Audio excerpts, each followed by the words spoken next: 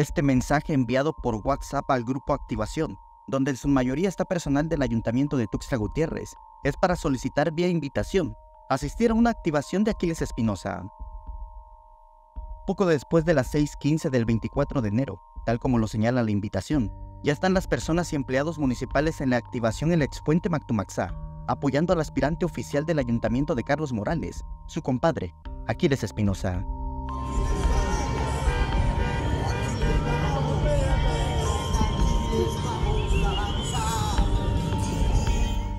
El remitente del mensaje es Miguel Zárate Izquierdo, quien renunció al ayuntamiento a su cargo de secretario técnico para incorporarse a la campaña de Aquiles, uno de los hombres más cercanos de Carlos Morales en la campaña.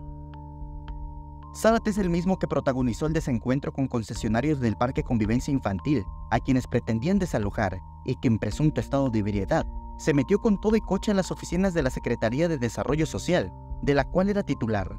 Dejó el cargo pero poco después, el presidente lo convirtió en coordinador general de gabinete.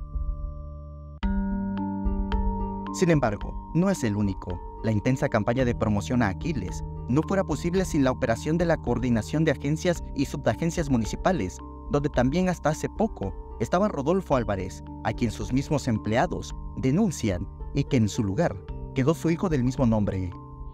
que nosotros somos personal del ayuntamiento pertenecemos a delegaciones de, de cada, área y ya ver que el coordinador como que le está llevando la campaña, la que queda de dos a tres colectivos por cada uno para las asambleas, para toda carrera y nada de Ahorita la delegación y la coordinación general de agencias y subagencias municipales le está llevando la campaña.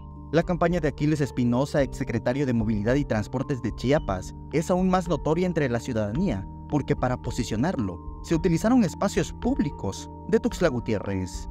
Con imágenes de Christopher Canter, Samuel Revueltas, Alerta Chiapas.